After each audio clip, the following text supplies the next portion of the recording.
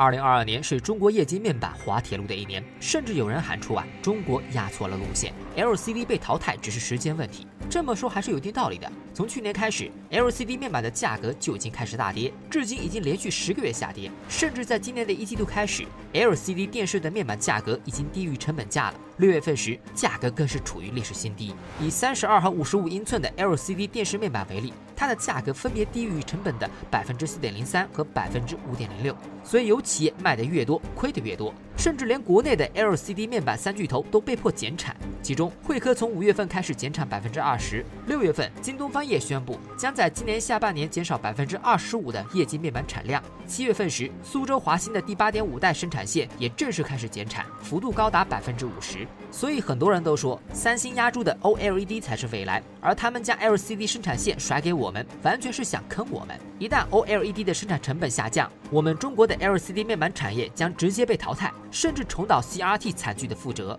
事实上，这个说法根本不存在。三星并没有放弃 LCD 面板，中国面板产业也不是说坑就能坑的。为什么这么说呢？大家好，我是熊猫，今天就来说一下屏幕行业背后的故事。对了，视频制作不易，喜欢的话点个赞和关注一下，熊猫拜谢了。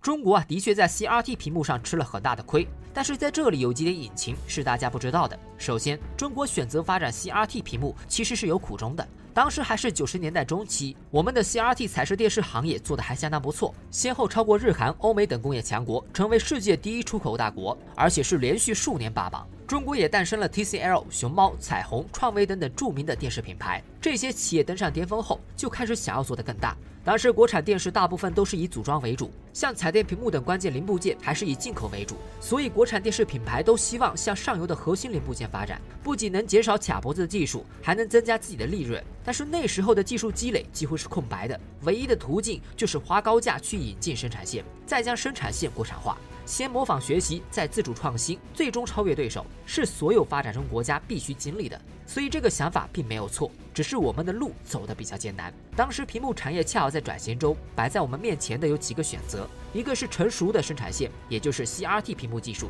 还有几个是探索性的产业，其中就有 LCD 面板以及等离子面板。CRT 屏幕是当时需求量最大的、市场应用最广的彩电屏幕，而 LCD 面板和等离子面板技术还处于验证阶段，未来能否产业化还尚未可知。后来的事情大家都知道了，河南的安彩花了四亿元购买了美国康宁公司的九条拨鞘线，彩虹集团斥资六亿多元引进了超大屏幕显像管的生产线，其他的几条生产线也差不多。不过 TCL 全盘收购了欧洲汤姆逊公司的 CRT 彩电业务，也花了比较大的价格。所以站在上帝视角上来看，我们的屏幕产业确实是吃亏了。但是站在发展的角度上看，中国需要在屏幕产业上做突破，引进 CRT 的确可能会失败，但是不引进 CRT，中国屏幕产业一定会失败。至于为什么我们不以 LCD 作为突破口，其实原因也很简单，就是人家不卖呀。而我们当时的基础又太惨了，连屏幕产业链都没有，更不用说先进的 LCD 生产线了。其次，我们选择大量引进 CRT，还有一个重要原因就是啊，我们误判了 CRT 的寿命。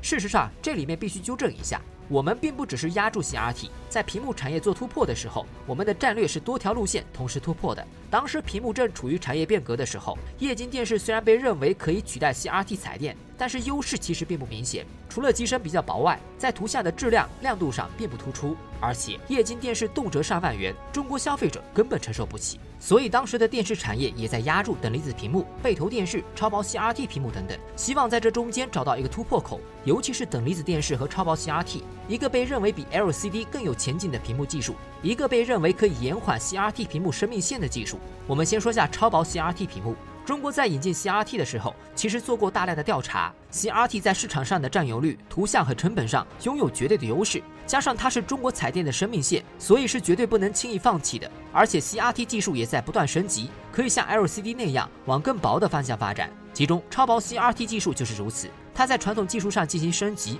可以把 CRT 电视的厚度缩短一倍，在当时也仅仅比平板电视厚了一点点。以三星的三十英寸 CRT 电视为例，他们可以将厚度做到十六英寸，而中国 TCL 等企业更厉害，可以缩短到三十厘米左右。在这种对比下，整个世界的彩电企业都评估 CRT 电视至少还有十年的辉煌。所以，不仅有欧美还在发展 CRT 生产线，日韩也没有一下子就放弃 CRT 产业链。我们太想要自己造出屏幕了，而且 CRT 看起来确实不错，这才是我们重金购买 CRT 生产线的主要原因。如果 CRT 在当时真的是一点前景都没有，我们也不会把外汇就这样当流水花掉。除此之外，我们也在积极发展等离子电视。等离子面板是在两块玻璃间加入混合气体，然后加压，利用荧光粉发光成像。它就像现在的 OLED 屏幕，都是主动发光，色彩可以达到数亿级。而 LCD 屏幕本身是不能发光的，它是由背光灯发出的光照射到偏振片、彩色滤光片等组件上，然后用明暗来显示图像，色彩级别只有千万级，两者不在一个量级上。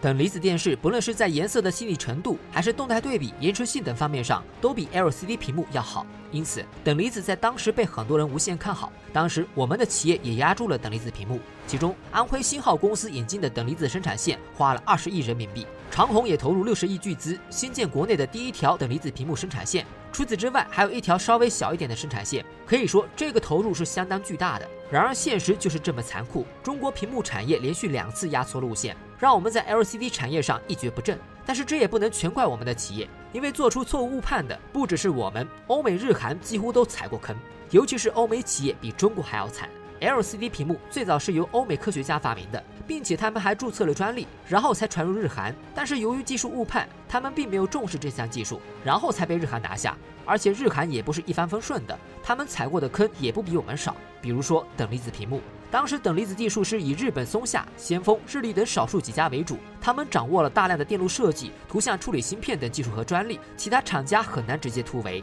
但是松下等日企却犯了一个毛病：再好的技术，只有做大规模，价格才能不断降低，技术才会不断升级。他们不愿意向其他厂家分享，而是自己一边大搞垄断，拒绝开放技术。另一边花费大量的资金自己搞扩产，企图独占红利。然而，这样的战略导致整个等离子行业的资本投入不够，产能和技术一直无法升级，而价格反而居高不下。下游的电视厂家和消费者只能忍痛放弃。反观 LCD 阵营，它的门槛没有这么高，很多企业都可以发展，大家一起进行技术突破。比如早期时，日本夏普将它应用在了手表上面，造出了 LCD 手表。一九八二年，爱普生则造出了第一台液晶电视。一九八四年，他们又推出了第一款可商用的 TFT LCD 显示屏。然后又是夏普做出了更大尺寸的 LCD 电视。此后一批又一批的日韩企业不断的进行产业突破，最终完成产能和性能上的双重升级。CRT 屏幕被 LCD 面板性能完全碾压，等离子电视又没来得及产业化，最终只能一起被淘汰。中国 CRT 产业链几乎一夜之间血本无归。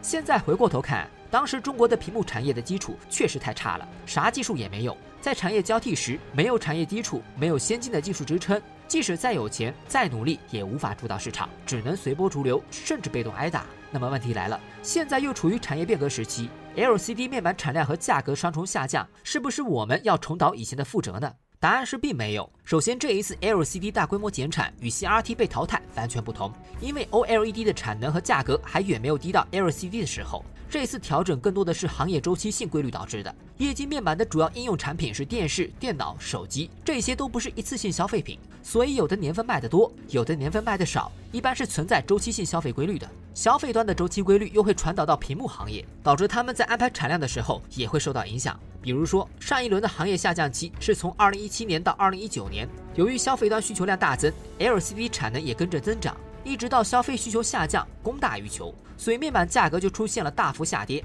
，LCD 企业也出现了大规模的亏损。当时的巨头三星、LG 也逃脱不了。而在我们国内，京东方净利润也出现下降，二零一九年时同比下降了百分之四十四点一五之多。但是从二零二零年开始，由于受到疫情的影响，彩电、平板等电子产品再次暴增，所以 LCD 面板再次迎来周期性变化，供不应求，面板的价格自然开始大涨。面板企业们凭借这轮涨价潮赚的是盆满钵满，TCL 的显示业务净利润增长了百分之三百四，京东方在二零二一年的净利润更是接近过去八年总和，连三星和 LG 都宣布延缓 LCD 面板的停产计划。所以说这一轮的大规模减产，主要原因是面板行业的周期性衰退导致的，而国产 LCD 减产也是在为下次的爆发做准备，而不是某些人带节奏说 OLED 已经取代 LCD。而且很多人并不知道的是啊，三星虽然宣布关闭 LCD 生产线，但是它并没有真正的放弃 LCD，而是曲线入局。二零一六年时，他们感受到中国 LCD 企业的压力，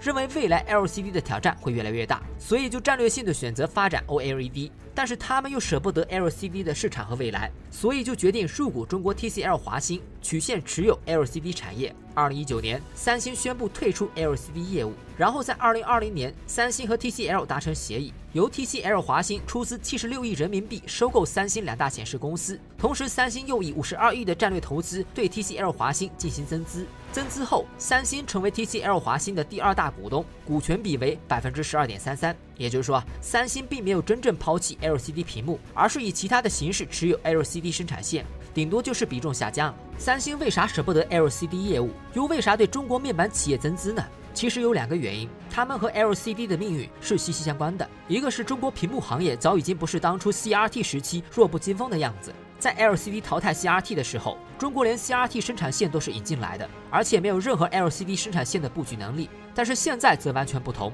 中国经过多年的布局，在 LCD 生产线上已经远超世界其他国家，不仅连续多年霸占世界第一的位置，而且从2019年开始，我们的出货量就超过了百分之五十，是妥妥的 LCD 领导者。其次，我们在 OLED 上也拥有不少的生产线，而且出货量也在不断增加。根据 CIR 显示，2022年时，中国企业在中小型 OLED 面板上的市占率达到了百分之二十二点六，比二零二一年增长了一倍以上。其中，京东方 OLED 的出货量占据全球第二的位置，TCL 则排到全球第四。而且，TCL 生产的 OLED 已经在为三星供货了。虽然两家 OLED 的实力还比不上三星，但是也不会再次经历 CRT 的崩溃以及 LCD 一蹶不振的悲惨境遇。甚至我们已经突破了诸多 OLED 核心生产设备，比如真空镀膜机和喷墨技术。有机会啊，我再给大家做一期。总之，按照产业分析和预测，LCD 面板还有五到十年的时间，而中国的 OLED 也不断在突破，完全可以在这段时间里占据更大的位置。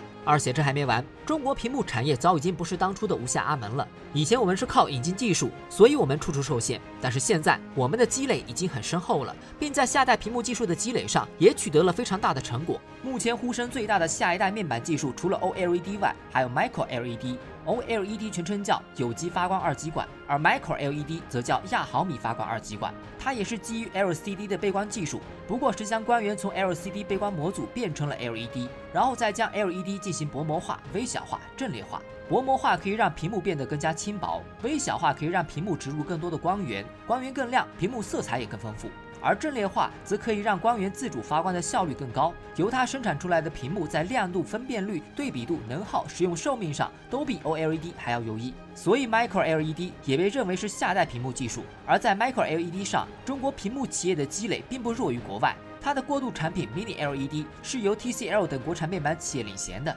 我们在专利和技术，甚至在芯片、背光模组、分装等上下游的布局上，都比外企要强得多。OLED 屏幕更加轻薄，屏幕的柔韧性更好，所以它更适合小屏幕。但是在大屏幕上，Mini LED 就已经展现出不输给 OLED 的潜质。尤其是在2021年，苹果的 iPad、华为和小米的大屏电视，集中是推出了自家的 Mini LED 产品，将 TCL Mini LED 屏幕推向了高潮。所以行业内有种小屏看 OLED，大屏看 Mini LED 的说法。如果 Mini LED 持续技术升级，加 Micro LED 真正产业化，那么未来的屏幕之争鹿死谁手还未可知。关于它的视频我也做过了，有兴趣的可以看看我在四月份的这篇视频。所以从综合上来看，我们的 LCD 行业很可能会被逐步取代，但是我们的面板企业是不会重蹈 CRT 的悲剧，反而有可能在诸多的围堵中慢慢突围。好了，我是熊猫，看都看到这边了，麻烦点个赞关注一下呗，我们下期见。